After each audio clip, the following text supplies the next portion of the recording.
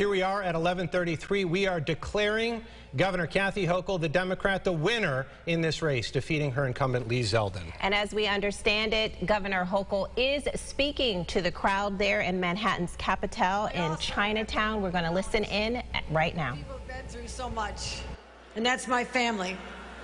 First of all, New York's first elected first gentleman of the state, my husband Bill Hochul. His love for 38 years has lifted me up, and I'm so grateful to him and our children, Will and Katie, and their spouses, Christine and Matt. They've endured years and years of my absences with understanding and love. To my father and my late mother, who inspired me to go on a path of public service. And to my siblings, my five siblings, and particularly my only sister, Sheila, who had a special way. Sheila has that special way of keeping me humble. I want to thank all of them, but tonight, I want to speak directly to New Yorkers. Tonight, you made your voices heard loud and clear. And, and, you made me the first woman ever elected to be the governor of the state of New York.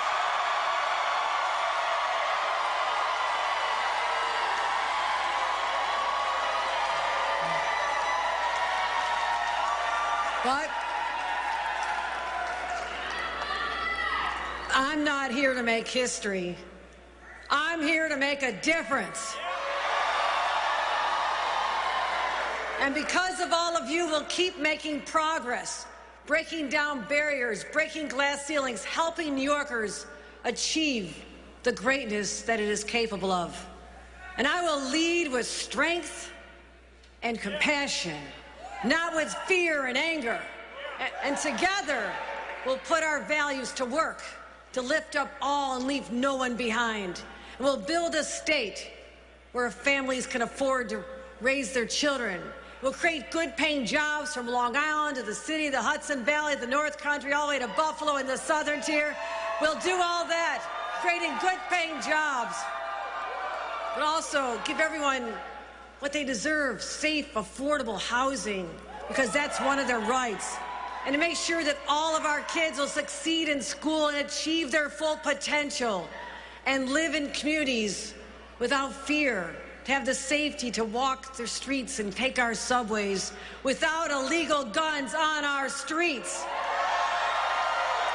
And this will become a place, this is a place where fundamental rights are protected and women can make their own decisions about their bodies. Because this is New York. New Yorkers, I will never take for granted the trust you placed in me. And I'll tell you this, the road here from Buffalo was not always easy. Let's hear from Buffalo. My parents started out married life in a trailer park, but they rose up through hard work and education and lifted themselves out of their circumstances. And they raised me in a strong social justice Catholic family where I was taught to fight for others. And it sparked my passion for public service. And that's why, as a young mom, I ran for office, eventually being elected to every single level there is local, county, state, federal, and now I've had the honor of a lifetime becoming the first woman to lead this state.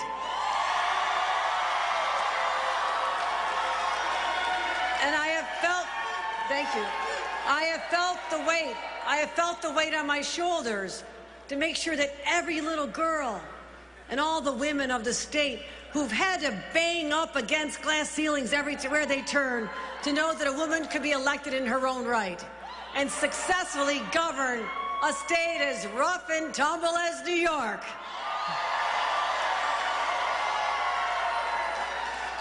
And yes, the glass ceiling, like the one that's above us here today, has finally been shattered in the state of New York, and you made it happen.